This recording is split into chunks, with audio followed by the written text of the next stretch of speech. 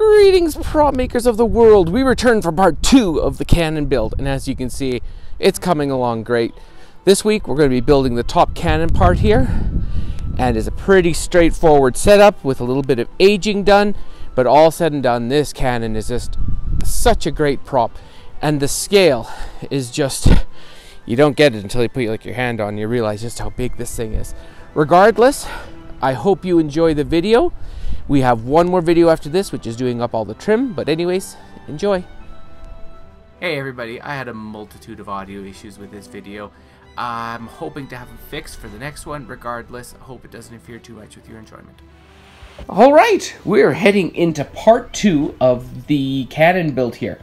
Now, the first thing you're going to need is 10-inch sonotube. Now, this comes in different measurements. You really have to pay attention to this.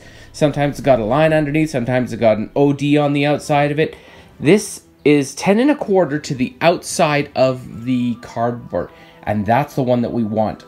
You can go bigger, depends on the cannon that you build. You know, you can go through and you can modify this plan somewhat as much as you want. Now, from the end up here, we want to come down 31.75 inches. And we're going to put a mark in.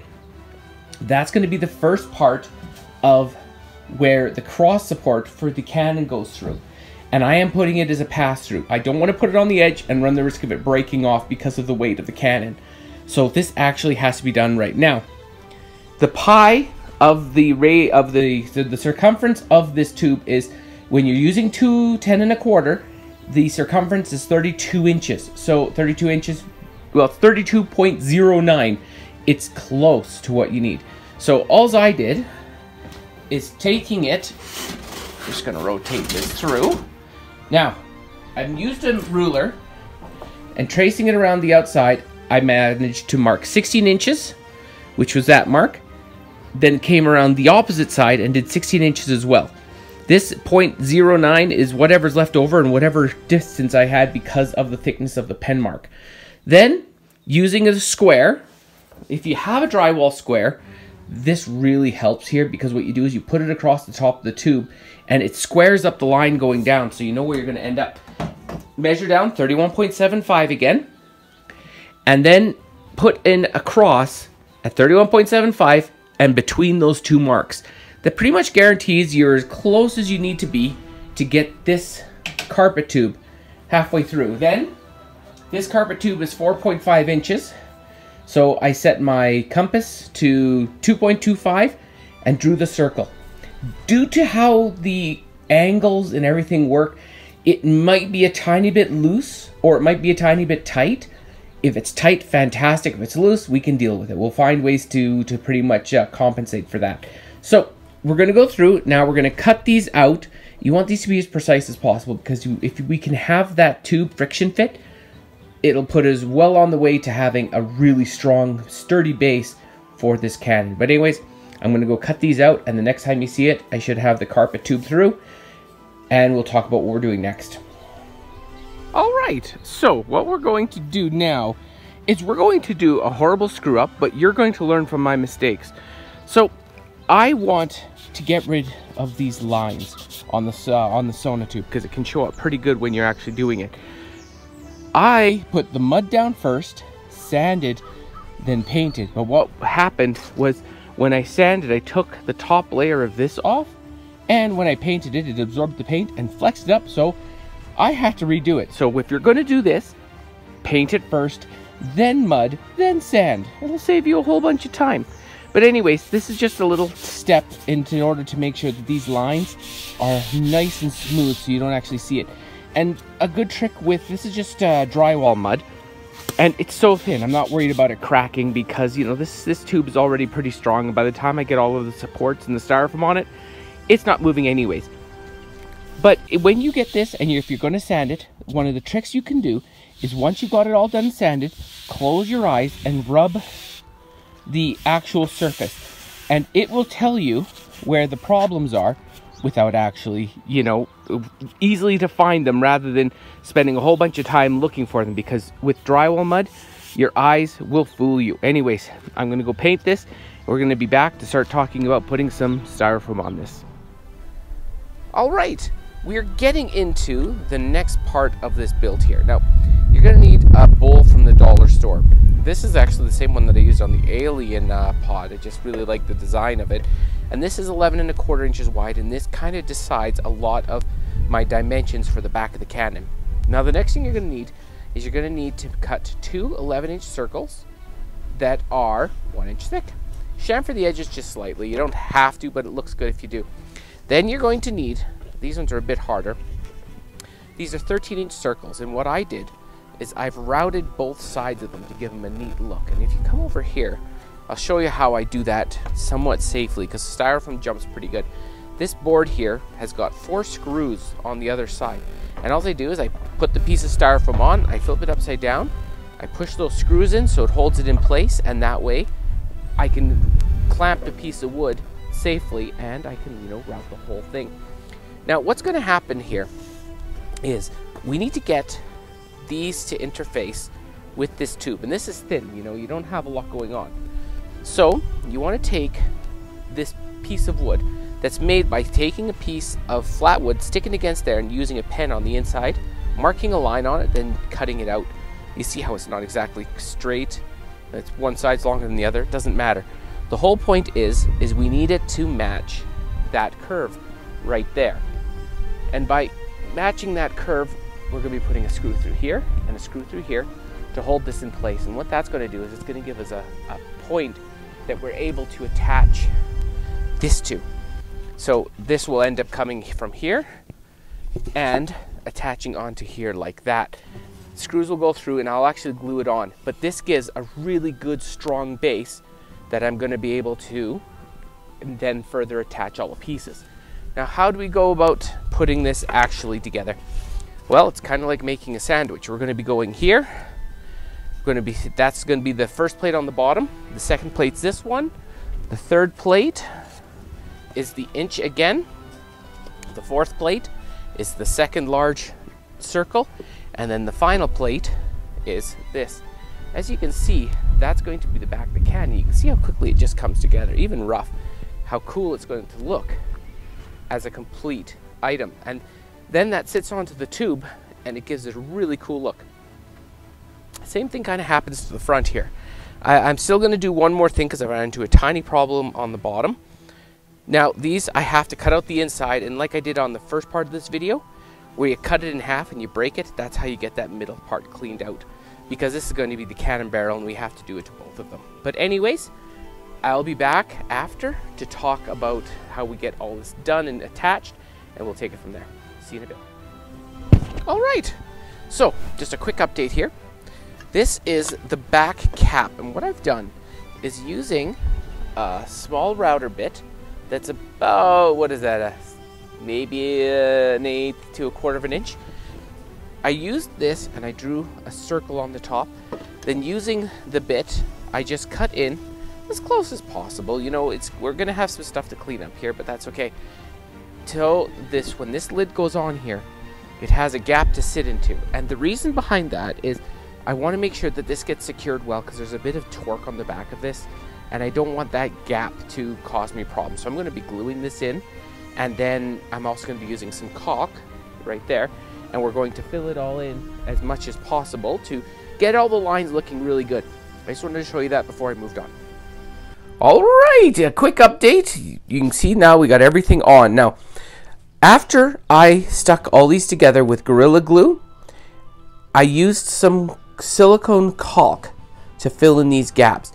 And what happens, it just smooths it out because when you have a cannon, the, the whole unit was actually, I believe, forged, not forged, but um, cast.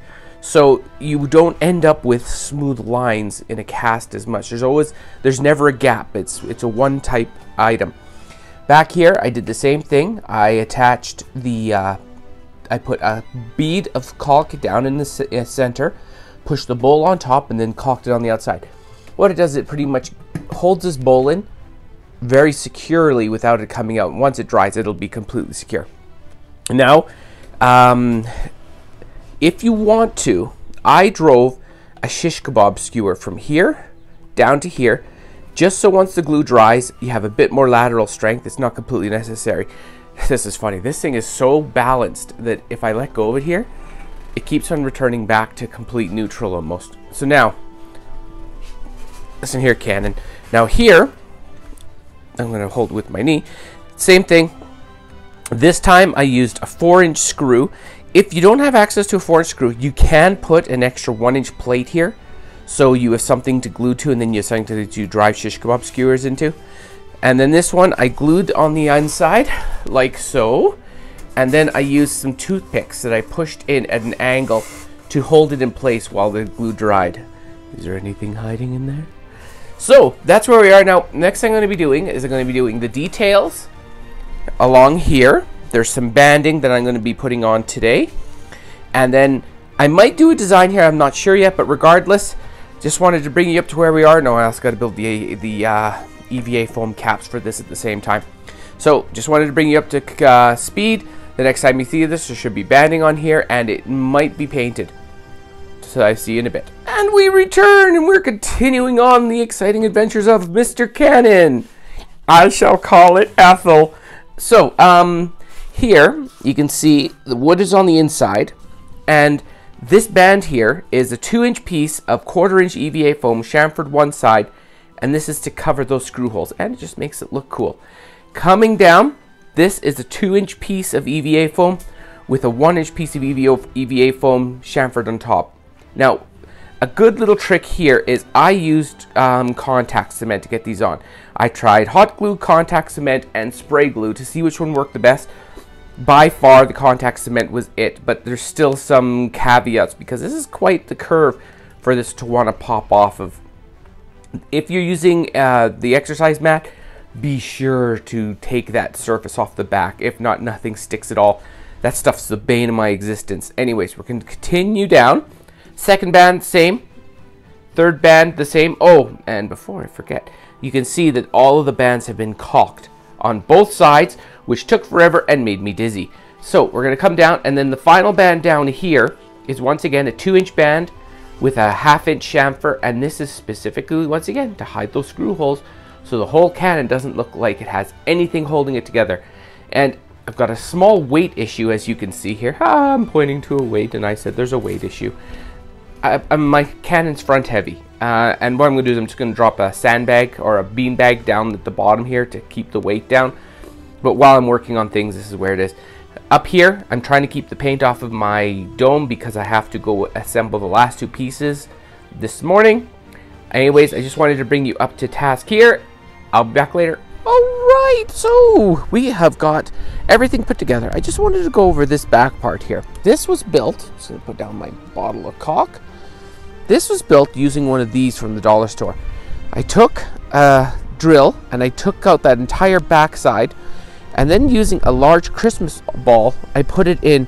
My joint here could have been a little bit better, but you know, for what it is, it's good enough. And then you just glue it onto the back of the bowl using hot glue and then I just siliconed I caulked in the areas here just to make sure it looks good and you can see down here I did some more caulk just to make sure everything holds in place beautifully now this finish here I always worry about styrofoam being eaten apart by spray paint I think I've come up with a solution when I was working with the caulk, I noticed you normally with uh, caulk you wet it down so you end up with a nice smooth finish. But I noticed that even after I wet it down and let it go, where it ended up, where I, you know, was just a very, very slight film, when it dried, it was like slightly sticky. So I did a test with a piece of styrofoam, and I found that if you take this stuff and you pretty much mix it with water and, you know, stir it around with a toothpick until you get the consistency of white glue, you paint that on here, it goes on beautifully. It dries gloss, just as a heads up, but it's fully paintable. So it's an amazing solution for getting styrofoam protected. It's to be my go-to from now on.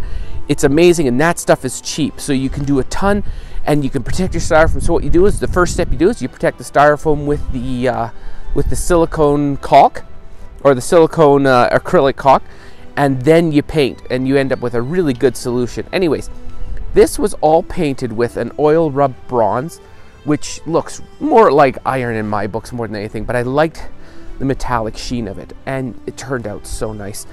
Piece of styrofoam down there is just so it doesn't stick to my sawhorses. And you can see all on the inside here, nice beautiful finish. I wanted a bit rougher of a finish on here because it would not be the smooth after firing a couple cannonballs. Anyways, this is where we are. I'm gonna go through. I'm gonna do a tiny bit of aging on this just to make sure it looks all pretty. But after that, I'm gonna put it onto the base and we will be finished. So I'll be back. We arrive at the final destination, everybody. What a great build this has been. So all I've done now is I've gone through and I've done a little bit of weathering, did a little bit of silver dry brushing, and a little bit of brown. I apologize for the wind sound. It's pretty gusty out here. Anyways, you do it to what you want. You can even do this if you do it. This is a full bronze build. Oh, it's cold out here. You can do it as a full bronze build with some green uh, aging, or you can do what I did, do it more of an iron with some rust. It's up to you, or you can make it brand new as well. Regardless, you can see once the cannon's all together how well it's coming together. Regardless, thanks so much for hanging out. I hope you enjoyed the cannon build so far. We got one more, like I said at the beginning, to build, and then we're going to be moving on to whatever project we feel next. Regardless, uh, if you liked the video, please hit the like. If you really like the video, hit subscribe. If you would like more of this weekly craziness, and it is craziness, man. Sometimes getting these props ready in a week is is wild. Regardless, have a good one all.